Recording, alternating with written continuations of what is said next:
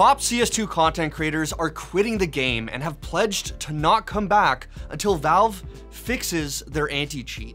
We have truly reached a breaking point. So who's leaving? How serious is it? And will it actually force Valve's hand to finally do something?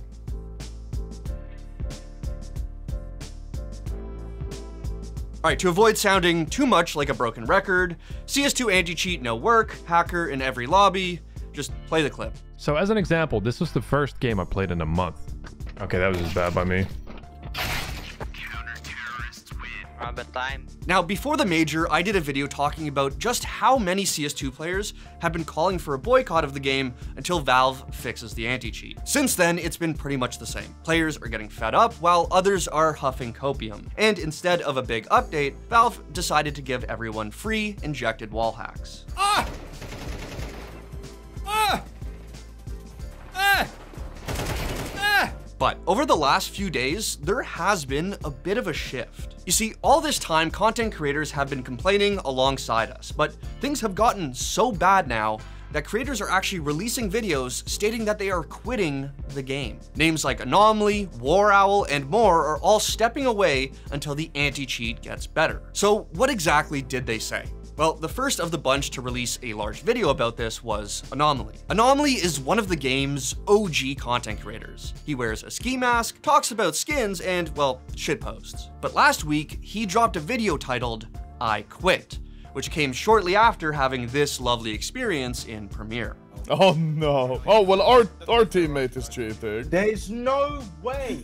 this, this, game This is game is so cooked. Bad.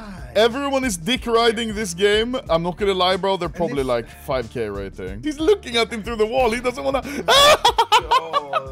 this guy's cheating as well. No, what the? Now, in his video, he reiterates just how bad the cheating issue has gotten in CS2, but also points out how it's actually affected the content for the game right now, a lot of the content you see surrounding CS has to do with cheaters. All types of cheater content, from interviewing cheaters to guess the cheater to trying to catch cheaters to just playing with cheaters. Like, it's everywhere on YouTube and Twitch, which isn't fun to see. That's a very bad image for a game. It's true. Most YouTubers are basically forced to make videos about cheating because actually playing the game is nearly impossible. I can relate. Until they fix this never-ending cheating problem. You simply cannot play the game without running into opponents or your own teammates who are blatantly hacking. The main job for a game like CS2 is getting rid of these internal cheats. VAC Live, at the very least, could detect blatant cheaters, but since that obviously wasn't the case, it got some wondering if it was even on. Now, just a couple days later, Neok also released his own video saying that he was quitting, while also showing off the catalog of clips he saved from his Premier experiences. And just this week, another bomb dropped with the War Owl releasing his own video on the issue, where he gave a detailed account of just how bad things have gotten so I suggest you give it a watch. But towards the end, he goes in on just how badly Valve all of this up especially in comparison to a game like Valorant. In every other game, to play the game the way it was meant to be played, you launch the game and you press the play button, and then you play the game. In Counter-Strike, we need to go through a third-party website, download third-party software, and play on third-party servers with a third-party rating system. This is a dramatic failure on Valve's part to create an ecosystem to play the game. Valve is as bad at making a matchmaking system as Bethesda is at making a game. They rely on the community to come in afterwards and fix it. Counter-Strike 2 was a huge opportunity to solve this problem. Now, what exactly does quitting CS2 mean in these instances? Because it's not as cut and dry as it might sound at first. You see, these creators aren't exactly quitting CS2. They're simply just refraining from playing Premier or standard matchmaking on Valve servers. For the most part, they are still going to make content, play FACEIT, and potentially open cases. Obviously, the knee-jerk reaction is to call all of this just a nothing burger, and I get it. But this game is their livelihood, so quitting it altogether probably wouldn't be a smart idea. Do I wish that every player stepping away from Valve servers also left the skin market? Yes, of course, but I just don't know how realistic of an ask that is since that's like how half the game's creators make their money. In the aftermath, these posts obviously blew up and started getting reactions from plenty of content creators who showed their sympathy. In fact, skin content creator Arrow went so far as to show just how bad the cheating problem might be above the 20k elo mark.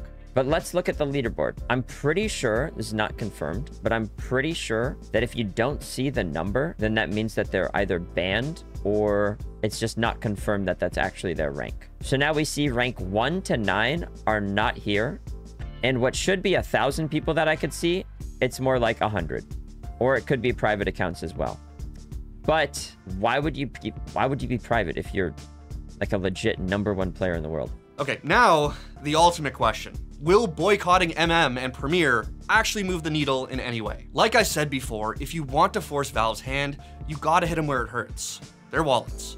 And unfortunately, the size of their wallet is affected far more by the sale of skins than by how active their official lobbies are. At the end of Neok's video, he says he hopes that Valve watches his video. And while I'm sure they're aware of all of these videos, I don't know if it's actually going to do anything. At most, if a lot more content creators follow the trend of quitting, Valve might release a statement, but even then, I'm not too sure. I'm not even memeing on Valve's lack of communication. I legitimately don't know if this is in their best interest to comment on it until they have a fix they're ready to ship. Coming out and saying, yes, our game is right now, admits that they are knowingly allowing their player base to spend time and money on what is objectively a negative experience. And imagine what a prospective player might think.